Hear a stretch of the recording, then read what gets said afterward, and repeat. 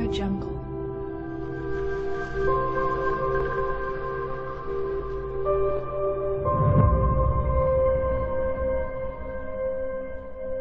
Audio Jungle.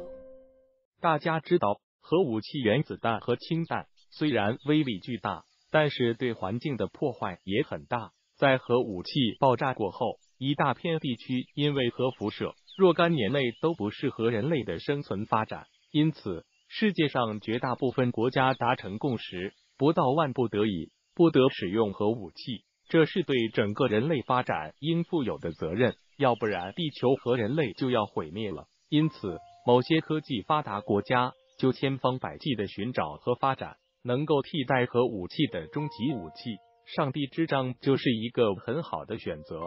上帝之杖这名字一听就是高大上、霸气十足。其实它的作用原理并不复杂，就跟大家小时候扔石头差不多。只不过这里用的不是石头，而是一根金属棒。该金属棒由钨、钛或由金属制成，直径三十厘米。长六点一米，重量达几吨？好家伙，这大棒可比孙悟空的金箍棒还要厉害！砸下来可不是孙猴子的金箍棒打碎几块山石那么简单，而是能够直接毁灭一个大城市，同时打击到几百米深的纵深目标。怎么会这么厉害呢？因为这个大金属板是在太空投放的，其速度达到了流星的速度，三点九万公里每小时。